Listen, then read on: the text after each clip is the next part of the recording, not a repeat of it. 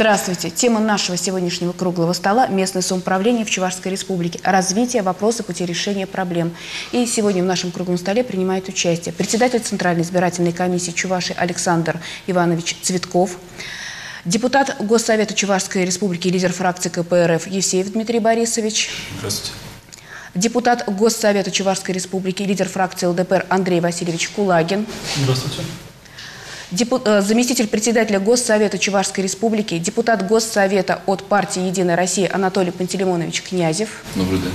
депутат Госсовета Чувашской Республики, лидер фракции «Справедливая Россия» Игорь Юрьевич Маляков. Добрый день, уважаемые телезрители. В 2003 году был принят федеральный закон номер 131 об общих принципах развития местного самоуправления. И он, в принципе, положил начало реформе местного самоуправления у нас в России. Есть такой термин – Местное самоуправление – это система организации деятельности граждан, обеспечивающая самостоятельное решение населением вопросов местного значения, управление муниципальной собственностью, исходя из интересов всех жителей данной территории. Вот с вашей точки зрения этот термин не устарел? И если сегодня давать новый термин, что такое местное самоуправление, как бы вы вот его охарактеризовали? Давайте начнем с вас. Местное самоуправление – это экономико-политические гарантии существования людей на определенной территории. Дмитрий Борисович. Ну, на мой взгляд, местное самоуправление – это та группа очень таких интересных людей, которые зажаты между реальными проблемами населения и э, республиканской властью, которая зачастую не выделяет необходимого финансирования для того, чтобы эти проблемы решить. Андрей Васильевич. Ну, я считаю, что местное самоуправление, это в первую очередь, наверное, это наши люди, да, которые организовывают свою какую-то жизнь по, при помощи депутатского органа, да, э, исполнительного органа. Те люди, которые хотят сегодня, допустим, э, создать то качество жизни, которое бы их устраивало. Анатолий Пантелеймонович. Ну, я думаю, что термин он не устарел, который был обозначен изначально в законе 131 принятом в 2003 году. А термин сохраняется. Это именно имеет территор... имеется в виду территория, граждане. Если я правильно назову цифры, если более 900 человек на территории, то имеет право создать муниципальное образование по своей ответственности. Понятно. Игорь Юрьевич. Ну, это место, где встречается власть и встречается народ. У власти может быть зверское лицо и, соответственно, реакция народа. У власти может быть никакое лицо и тоже соответствующая реакция. Но власть может все-таки отнестись к населению более или менее То есть благосклонно. Да, лицо, более да? человеческое лицо. И мы собрались здесь как раз, видимо, для того, чтобы обсудить, как сделать так, чтобы лицо было человеческое. Понятно. У органов местного самоуправления много полномочий в решении вопросов местного значения. А вот финансовой поддержки, ну, как мне кажется, маловато. Вот за 10 лет действия федерального закона практически круг вот этих вопросов с 60 вырос, больше 100 он стал, да? Вот с вашей точки зрения, какие поправки необходимо внести в закон, чтобы как-то ситуация поменялась? И вот нынешние поправки, которые были 20 мая, они как-то поменяют?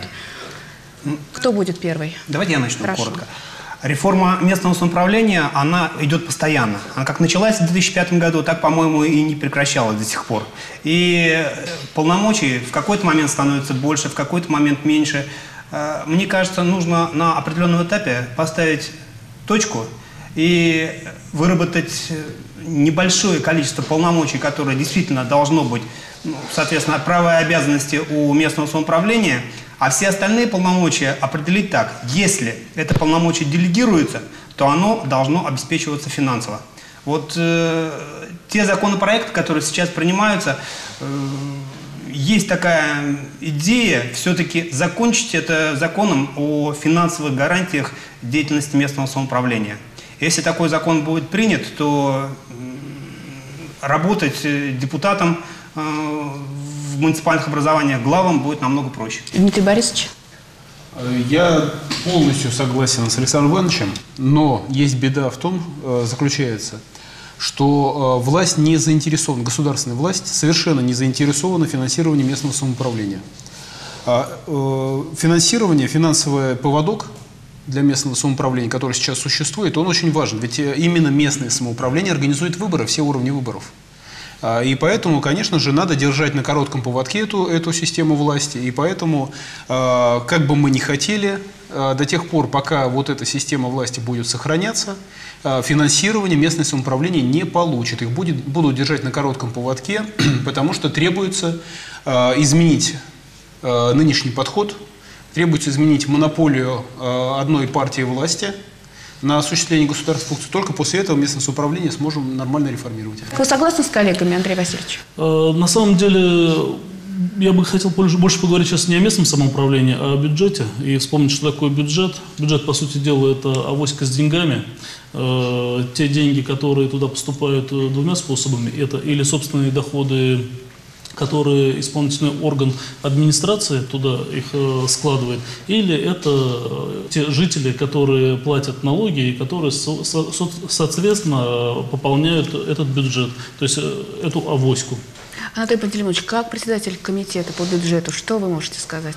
Когда принимали закон, я не буду скрывать, я был в работе группы в Приволжском округе, мы представляли, выступали и в Москве, а, был глава города Арзамас Ниж- Нижнего Новгорода, и вот я, глава Чебоксарского района.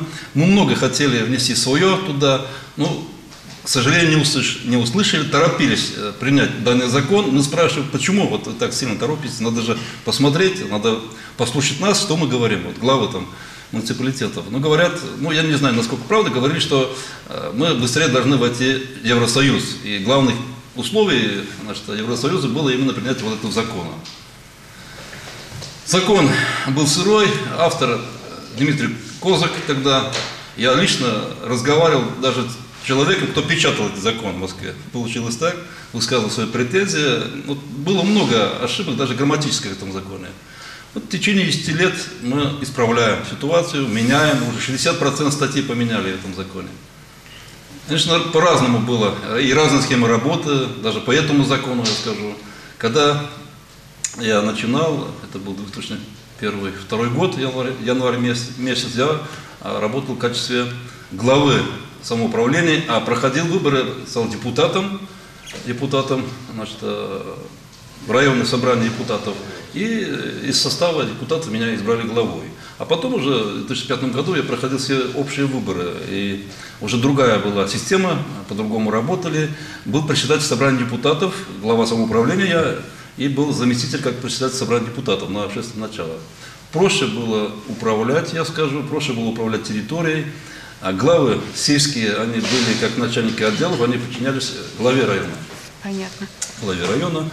И управляемость она была лучше намного. В 2010 году немножко мы наломали дров, скажу. Двуглавые муниципалитеты не всегда есть хорошо. Ну, мы об этом поговорим чуть позже. Хорошо. Этом Поэтому, наверное, да, думаю, что слово нужно предоставить. Все, время забрали. Вам. Ну, вы знаете, э, вопрос о финансировании самый главный вопрос э, местного самоуправления. Если взять российскую историю, то самоуправление у нас началось с конца XVIII века. Екатерина Великая ввела жалованную грамоту российским городам. Они беседовали с Дидро, с Дени Дидро, и, э, собственно, местное самоуправление – это во многом западное явление. Но я хочу сказать о финансах, которые были утверждены э, потом и в 1864 году, э, значит, и в 1870 году, это реформа Александра II. Схема была следующая. Значит, 20% шло в федеральный бюджет, то есть царю, они строили броненосцы, содержали армию и так далее. 20% шло на губернский уровень, губернатору. Но вдумайтесь вот в эту цифру. 60% оставалось местному самоуправлению. И поэтому вот мы сейчас с вами беседовали, э, Николай Васильевич Гоголь написал свою бессмертную комедию не о губернаторе. Он написал ее о градоначальнике. Имеете в виду ревизор? Городничем. Ревизор, да. Почему? Потому что там были деньги. Ну, к сожалению, соответственно, были и возможности злоупотреблять. Кстати, тогда э, в состав России входила Польша, входила Финляндия. До сих пор в Финляндии, и они Александру II за это благодарны, сохраняется такая схема. Местное самоуправление 60%. У нас сейчас, вот говорят, самоуправление, на самом деле его практически нет, потому что в местном самоуправлении нет средств, нет денег. И поэтому все вот эти разговоры, они остаются значит, пустыми. Ну, два основных источника дохода э, бюджета местного самоуправления. Это э, налог на землю и это налог на имущество физических лиц. Вот на территории живут гениальные люди. Они зарабатывают деньги, но налоги оставлены такие, которые, собственно говоря, с течением времени от э, работы, от деятельности людей, живущих, они не меняются. От вот, качества работы. Да, ну, ну что, ну вот участок земли, вот с него налог, да. Или имущество физических лиц. Поэтому, если мы говорим о местном самоуправлении и о его перспективах в дальнейшем, то мы в обязательном порядке должны вносить изменения в налоговый кодекс и дать возможность местному самоуправлению получать деньги с тех налогов, которые действительно динамичны. Много говорят о поддержке местного товаропроизводителя. Ну а если смотреть в реальной жизни, во всех городах, даже вот у нас в Чебоксарах, да, засилие федеральных сетей. Э, Александр Иванович, вот как вы считаете, что можно сделать, э, чтобы федеральных сетей было чуть поменьше, мы все-таки развивали наши какие-то свои вот магазины, может быть, торговые сети? Ну, Для гражданина, потребителя, наличие федеральной сети – это, в принципе, неплохо. То есть есть выбор. Я могу пойти в карусель, в магнит, могу купить э, в своем местном магазине. И человек в данной ситуации голосует кошельком. Где ему выгоднее, там он покупает. Но вот с точки зрения развития экономики республики, здесь, э, безусловно, для э, Чувашии выгодно, чтобы развивались наши предприятия. Здесь вот уже зависит во многом и от депутатов Госсовета тоже создать преференции, создать э, возможности для того, чтобы наши предприятия были конкурентоспособны. Дмитрий Борисович. На мой взгляд, федеральная сеть – это, конечно, зло. Большое зло. Э, Во-первых, качество продуктов, э, качество продаваемого товара там крайне низкое. Во-вторых, это серьезная проблема с э, входом э, значит, в эту сеть, когда наши производители, производители качественной, хорошей продукции, они просто не могут из-за поставленных барьеров войти и продавать там нормально свои товары. Но в то же время нельзя сказать, что на местном уровне, как-то на уровне местного самоуправления этот вопрос можно решить. Нет, конечно, нет. Это необходимо решать даже не на региональном уровне, на уровне федеральных законов. А, Мы должны, несо- несомненно, ограничить возможности для этих федеральных сетей. Местное самоуправление сейчас никакими а, полномочиями в этом отношении не имеет. Они, если будут препятствовать деятельности сетей, то просто-напросто попадут под действие э, антимоново- там, законов и так далее, антикоррупционных и прочих вещей, их просто привлекут к ответственности. Поэтому сейчас ни местное самоуправление, ни региональные власти, к сожалению, рычагов влияния э, вот на эту проблему просто не имеют. Андрей Васильевич, как вы считаете, можно изменить ситуацию Ну, или что нет? касается м, федеральных сетей, я считаю, что это не самая главная проблема, конечно, в местном самоуправлении. Почему? Потому что, во-первых, э, здесь как бы, если брать, вот, допустим, даже город Чебоксар, Новочебоксарск, основных, основные такие мест, местное самоуправление, это, ну, они не производят, по сути дела, сельхозпродукцию, которую продают федеральные сети. Они ее только могут, если перерабатывать. Основных проблем на самом деле в местном самоуправлении намного больше, и их можно обозначить вот сегодня. Одна из главнейших проблем, которая вот э, уже кричит, это бардак э, с земельными вопросами у нас. Вот Почему? Потому что многие люди, которые более 15 лет уже проживают на земле, они до сих пор не могут оформить э, свои дома, зарегистрировать собственность. Вот это кричащая проблема, о которой нужно говорить. Вторая проблема. У нас ведь вот, все говорят, но никто не акцентирует внимание. У нас бардак э, в системе ЖКХ. У нас очень огромный провал там. Управляющая компания себя считает чуть ли не последней инстанцией, чуть ли не закон уже готовы писать. Э, обманывают жителей э, не на один рубль уже, миллионами. Многие говорят, что мы банкроты, мы не хотим больше работать в управляющей компании. Но ни одна управляющая компания не прекратила свою деятельность и не ушла. По капитальному ремонту, который управляющие компании делают, вот сейчас только приехал вот из Тома-2, э, общались с сотрудниками, ведь по подложным документам получают деньги за капитальный ремонт, э, проведение капитального ремонта. Еще ремонт не сделан, акты уже сданы, деньги получены на счет управляющей компании. Вот это кричащие проблемы, понимаете? А федеральные сети, ну... То есть это меньшее зло, с вашей точки по- зрения? По, по моему мнению, что там э, в федеральных сетях работают те же самые жители, допустим, города Чебоксарска, Чебоксара, Новочебоксарска. Э, Это, это же наши люди там работают, получают зарплату. Проблема для покупателей, для граждан аб- абсолютно не существует. Чем больше магазинов, тем больше выбора для них. Проблема для наших товаропроизводителей. Тут никаких рычагов абсолютно законных я тоже не вижу. Иначе поправит нас федеральное законода- законодательство. А, есть э, моменты, где можно как бы э, использовать это нажимать на, что у нас экологически чистые продукты, знаем предприятия, кто что производит, они все на виду, и с учетом этого мы э, должны строить политику вокруг, вокруг наших предприятий. Другого, других рычагов у нас просто нету. Игорь Юрьевич. Ну, вы знаете, здесь опять же мы упираемся в финансы, и я думаю, что несмотря на наше возмущение, потому что возмущение оно действительно есть, у наших соседей есть торговая сеть Бахетле, я имею в виду э, Республику Татарстан, и они не совсем скажем, так сказать, законными методами, но они давят на производителей со стороны, и они устанавливают тот процент Даже продукции, есть да, который, а, значит, они должны принимать от местных производителей. Но это Татарстан, это сильные люди, это сильная власть. И сильна она во многом потому, что там был Шаймиев, и они сохранили местное самоуправление, потому что тот же Шаймиев накачивал те же сельские регионы деньгами. У нас сейчас э, будет усиливаться влияние э, вот этих сетей, никуда не денешься. Почему? Потому что абсолютно неразбериха. Вот сейчас мы э, говорим, почему я упомянул бюджет, о э, муниципальном имуществе. Вот закон сейчас приняли, сейчас будут э, образовываться внутригородские округа. Это значит лишние деньги пойдут. Мы по, по- порядка 10 лет, вот коллеги не дадут соврать, чем занимались? Агломерация. Эта э, логика была следующая, еще Федоровым заложена о том, что чем крупнее объект, тем он динамичнее и так далее. Сейчас мы приняли закон, который разрушает десятилетний труд по агломерации. Возьмем 50-ю статью закона о местном самоуправлении, 131. Там есть перечень а, предприятий, которые никогда не могут войти в собственность муниципалитета.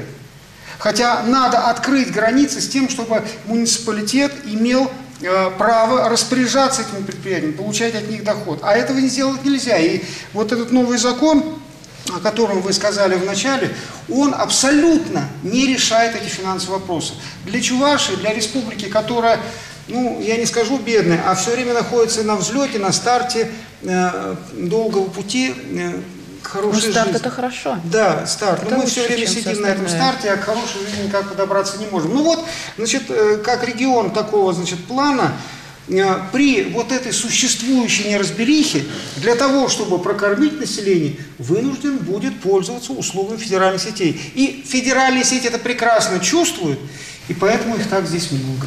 Александр Иванович, мне кажется, вы хотите добавить что-то. Ну, С другой стороны, ведь есть примеры, когда наши предприятия очень неплохо себя чувствуют и в других субъектах, и продают свою продукцию. Тот же Акон, тот же букет Чуваши, эта продукция востребована. Поэтому все зависит от состояния экономики. Если экономика будет на взлете, как Игорь Юрьевич сказал, то я думаю, тут никакие федеральные сети нам не страшны. Сегодня очень много говорят и очень много критикуют действующую модель э, органов местного самоуправления, глава сети менеджер. Вот с вашей точки зрения, оправдала ли себя эта система, ее плюсы и минусы, Александр Иванович? Ну, Вы, наверное, как в, никто в наш- в в нашей этой республике есть у нас э, опыт работы по самым разным системам организации местного самоуправления. У нас был период, когда все главы э, избирались на прямых выборах населением. Затем мы перешли к другой модели, когда глава уже муниципального образования избирался, из- избирается из состава депутатов, а глава администрации назначается по конкурсу на контрактной основе. Плюсы и минусы есть у каждой системы. И в первую очередь, мне кажется, качество работы органа местного самоуправления зависит не от системы, а зависит от людей, которые там работают. Вот, от э, личных качеств, профессиональных, э, тех руководителей, которые возглавляют муниципалитеты. И вот э, в этом направлении, мне кажется, ну, как раз и нужно работать. Дмитрий Борисович. На мой взгляд, и здесь я полностью солидарен с позицией нашей партии КПРФ, местное самоуправление, руководители местного самоуправления должны избираться всенародно. А, Это власть местного самоуправления, которая наиболее приближена к избирателям, и, конечно же, здесь не должно быть никаких наемных там сети-менеджеров и прочих вещей. Единственный момент, э, который, наверное, здесь э, стоит учесть, это э, сложная процедура отстранения от э, руководства, которое было раньше, а, вот избранного такого руководителя а, местного самоуправления. Но она достаточно Практически легко... невозможно его Практически невозможно было по тому действующему законодательству отстранить от власти. Но это же проблема решаемая вполне. Для этого не надо вводить какого-то некого сити-менеджера. Э, Эта проблема легко решается, если дать возможность избирателям, как это, кстати, во многих странах есть, просто отзывать избранного главу за утерю доверия. Что думает фракция ЛДПР по этому поводу, Андрей Васильевич? Мое мнение такое. По большому счету, в принципе, порядок здесь есть, и главы могут быть как э, главы избранные, да, которые руководят законодательным органом, ну, не законодательным, а, получается, э, депутатами, Представительным. представительным органом, да. И должен быть глава исполнительного органа, глава администрации. Почему? Потому что, в принципе, мы эту систему изучали. Э, не должно быть так, чтобы в одних руках оказались и деньги, и э, положение, скажем, правила, кто разрабатывает правила игры. Такого не должно быть. То есть это должно быть два отдельных органа. Единственное, что я вот согласен, э, было ранее сказано, что нужны кадры. То есть кадровая политика у нас очень сырая сегодня, и по большому счету иногда бывает так, что глава города и глава администрации города э, подменяют полномочия друг друга. То есть это, это, я считаю, вот неправильно, это недопустимо.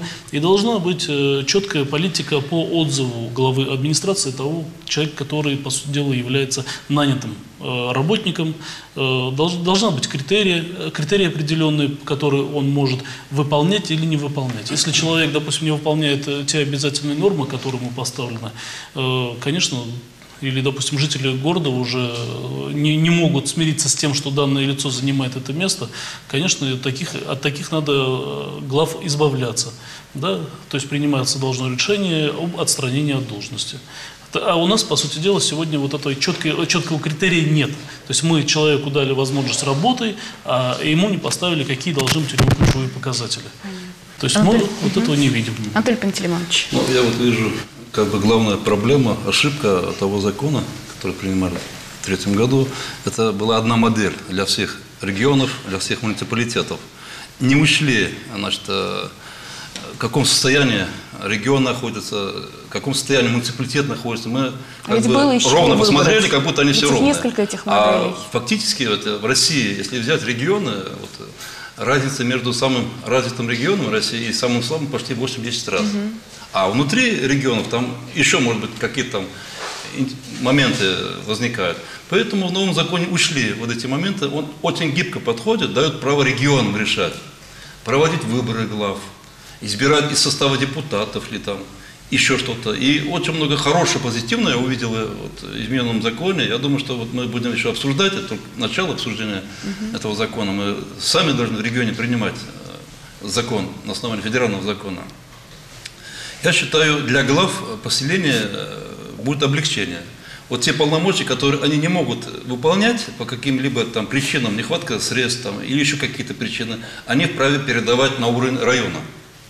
А до этого, вот сейчас, э, что существует у нас, по соглашению просто сторон. А тут уже в законе будет сказано, обязан, обязан принять район, если поселение не справляется. А у поселения где-то 14-15 значит, э, основных как бы, функций по работе, по работе. Это большой плюс для поселения. И еще другой я увидел, хороший момент вот такой, для э, поселений, где менее 100 избирателей, вправе местное население выбрать главу местную на собрание, общем собрании. Собрались, проголосовали, избрали главу местной администрации. Это очень просто, легко. Не понравился, через полгода собрались, его сняли. Понятно. Дано право решать им. Игорь Юрьевич, вы не раз критиковали эту модель. Ну, не я критиковал. Вы знаете, что закон, который был принят позавчера, был отвергнут всеми оппозиционными фракциями в Государственной Думе. Он прошел, э, несмотря на различные разговоры, только благодаря тому, что за вот те поправки, которые внесены в 131 закон, проголосовала э, партия «Единая Россия». А почему мы э, были против? Потому что самый принципиальный вопрос. А почему вдруг поправки появились именно сейчас. Почему э, э, ломается система выборов, допустим, э, глав города? Сейчас будет вот там несколько районов, Они, значит, э, как предусматривалось в первоначальном варианте, они избирают депутатов, эти депутаты делегируют кого-то в городское, а те там что-то вы- выбирают. В то же время власть прекрасно чувствовала, что все больше и больше населения Российской Федерации говорит, хватит игр, хватит вот этих придурств и хождений. Мы требуем прямых выборов главы, администра- э, главы города. Мы требуем того, чтобы не было разделения на сити-менеджеров, на глав города. Вот человек вышел, он взял на себя ответственность, и он начал руководить городом. Вот что в основном требовало все население. Уважаемые коллеги, мы вынуждены отпустить Александра Ивановича на заседание комиссии, а мы с вами, наверное, продолжим разговор. Спасибо.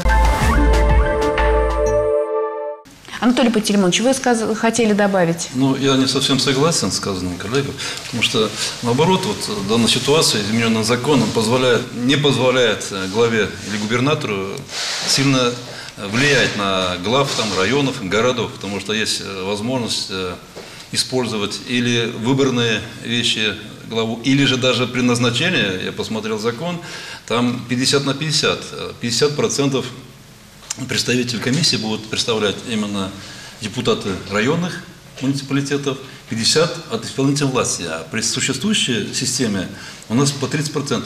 По 30% получается 30 госсовет, 30 исполнительный орган региональный и 30% э, Нет, районного наверное, собрания. Большинство э, муниципалы и потом 30%. 50 му- муниципалов и 25 от Да, исполнительной. да, да, да. Таким вот образом.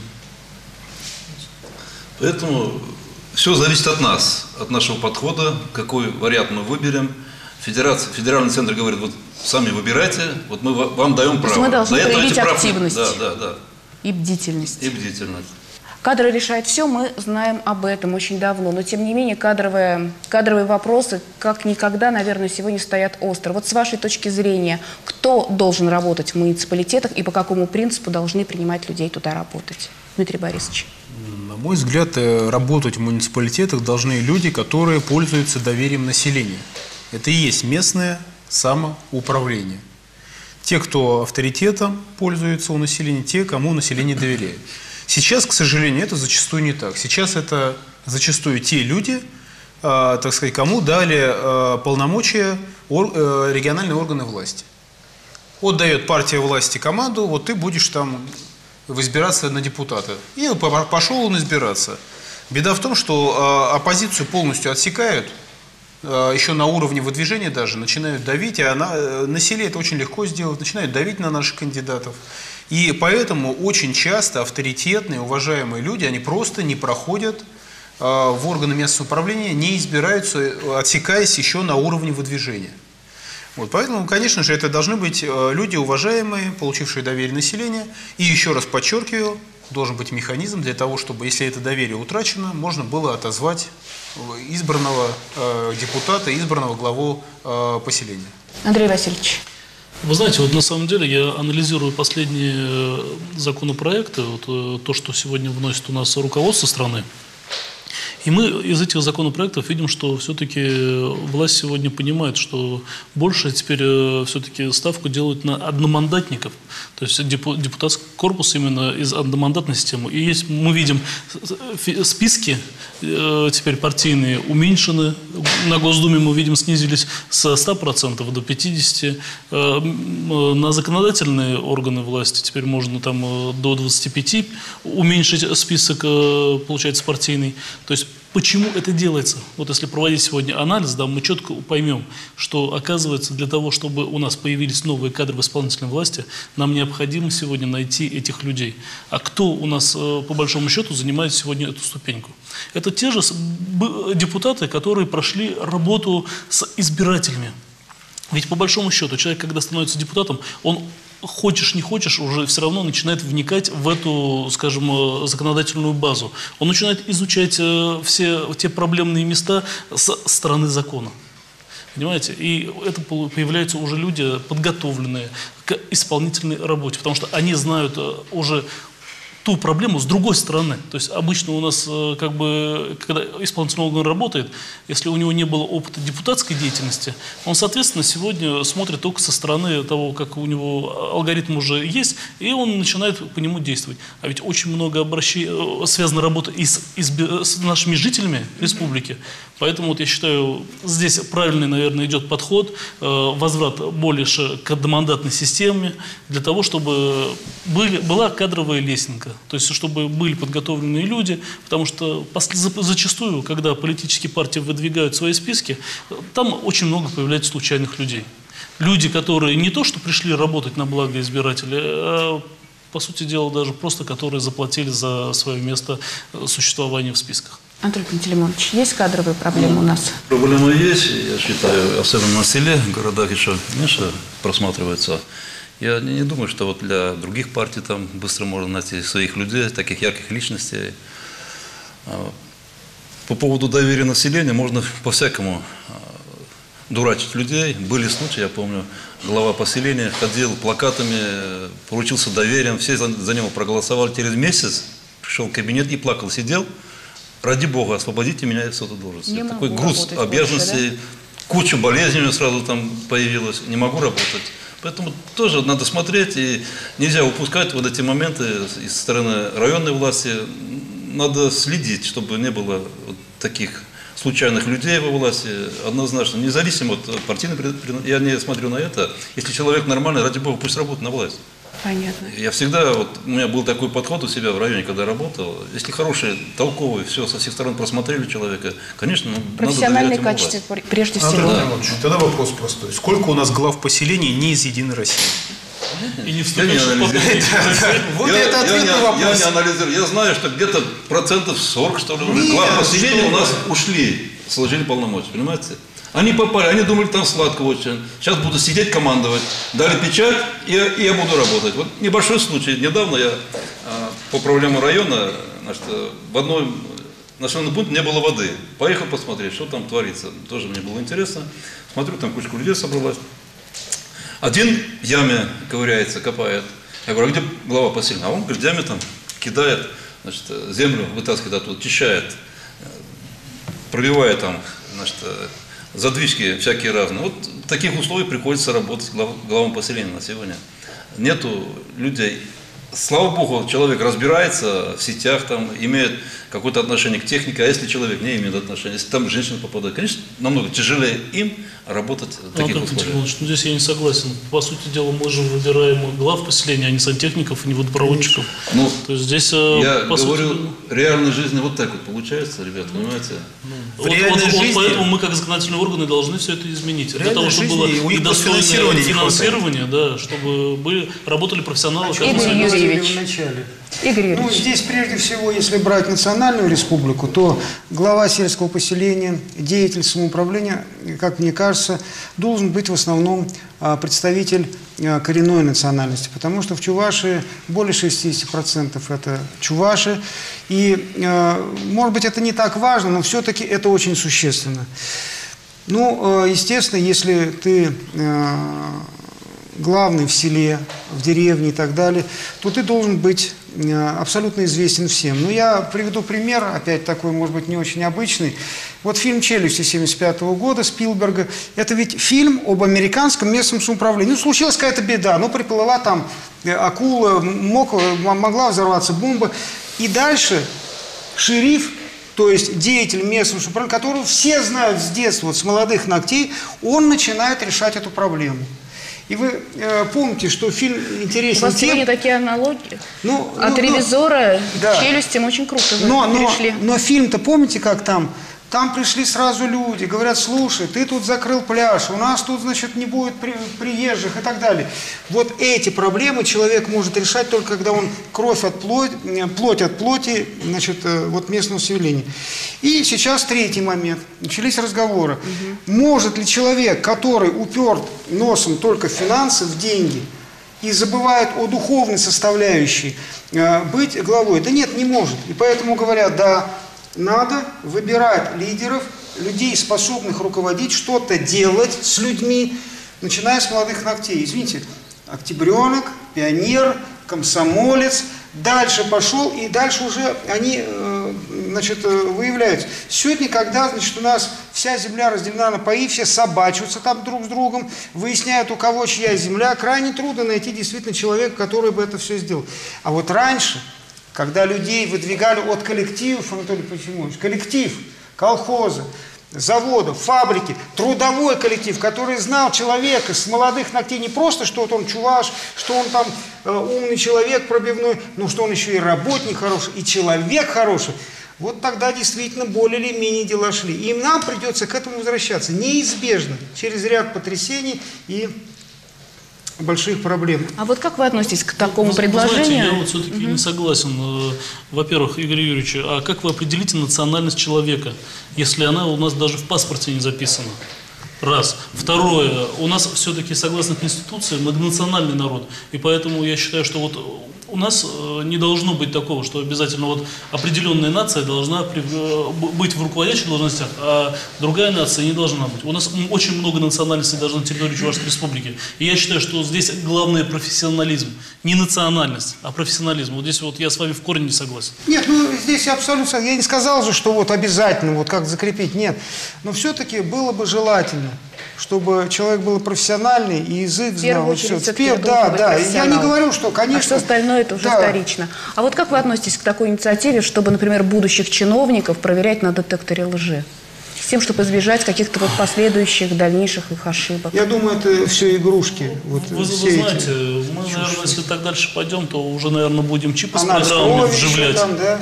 То есть это, это, это, это, это- это не, не, не очень, э, скажем... То есть у вас ну, такое вот, вы единодушны в этом? Нет, это все. не очень хорошо. Что это не нужно Ну, делать? Детектором лжи должно Это мы быть должны- мнение избирателей.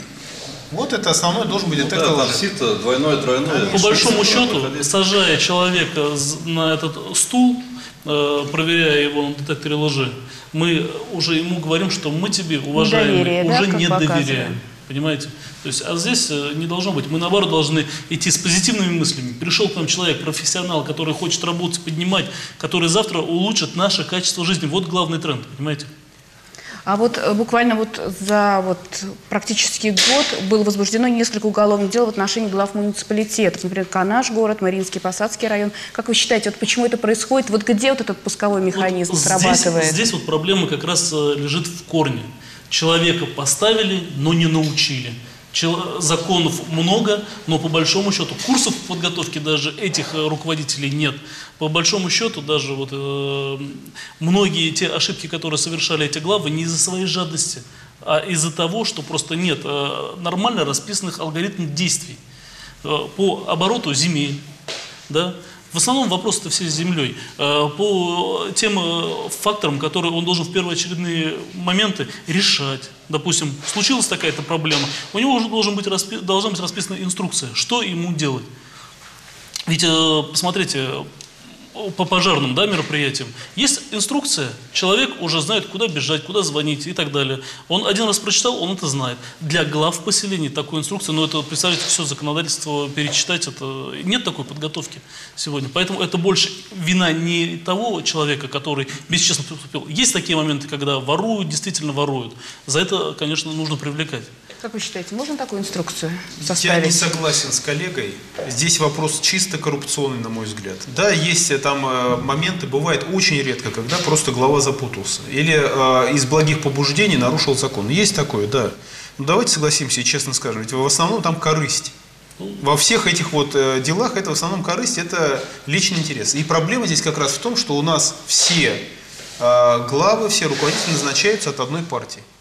Если бы, э, и, э, если бы действительно Единая Россия была бы мудрой партией, она бы сделала все, чтобы и на местном самоуправлении оппозиция была представлена. Потому что оппозиция – это лучшее лекарство от коррупции.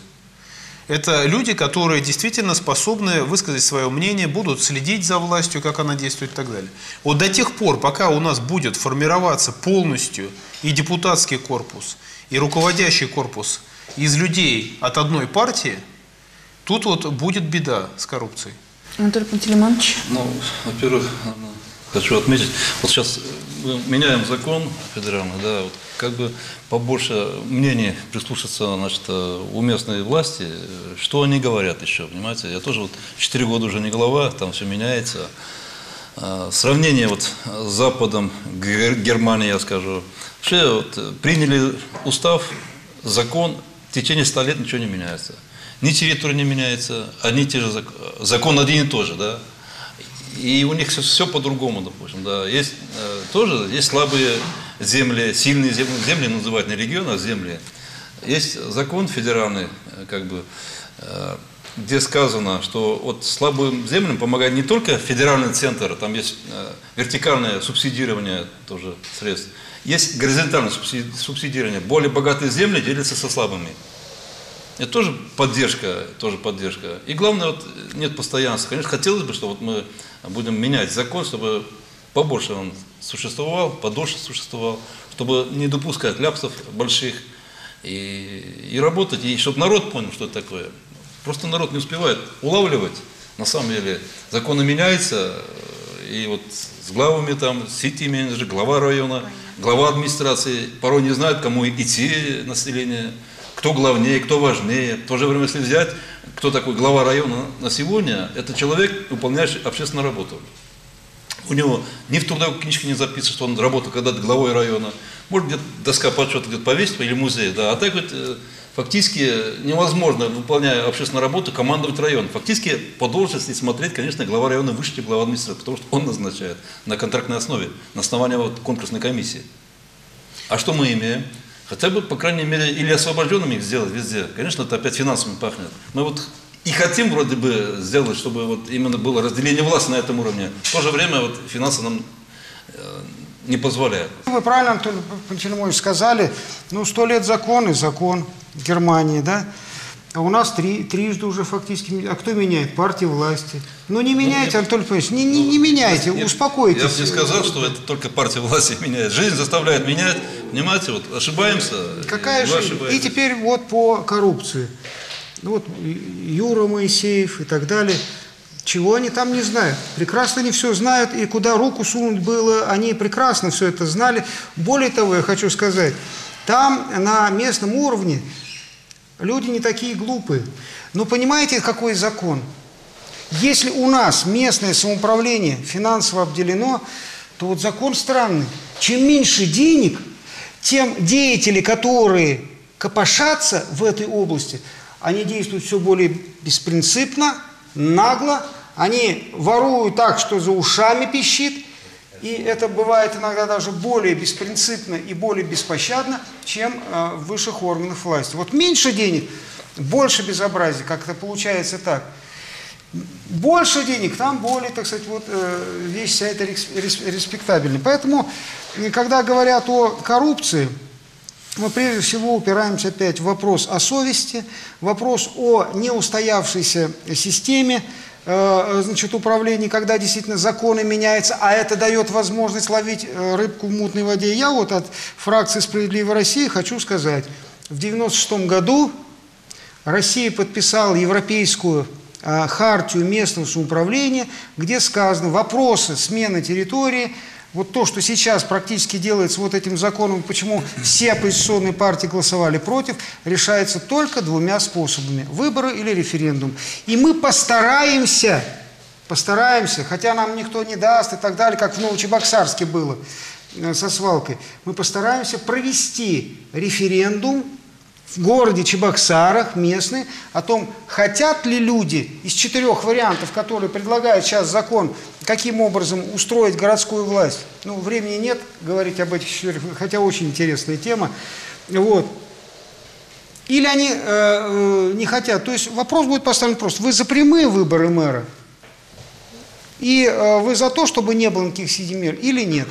Кстати, слабая надежда все-таки остается. Э, Вот э, те поправки, которые приняты, они дают такую возможность. А хартию европейскую никто не отменял, что действительно проводится по таким вопросам местный референдум. Ну, не, не отменили, вот как то ли забыли, то ли непонятно. Я тоже хочу высказаться, частично согласен с коллегой Андреем Васильевичем по поводу коррупции. Не всегда она так голая, как бы можно рассматривать. Есть ошибки значит, по незнанию у глав районов. Э, Хочу их как бы в пользу высказаться. Потому что законы не всегда совершенны. Есть моменты, где даже 10 юристов не могут разобраться, а одному главе надо издать постановление. Там по полгода разбираемся, а в итоге надо подписать. Не подписываешь, тоже нарушение закона. Там в течение месяца ты обязан принять решение. Подписал, ты уже отвечаешь. А потом суды, суды годами разбираются, в итоге выводят обвинение, что человек ошибся. И не, и не за ошибку, а именно за кор- коррупциогенный фактор. Понимаете? И были случаи, я знаю, по ряду районов.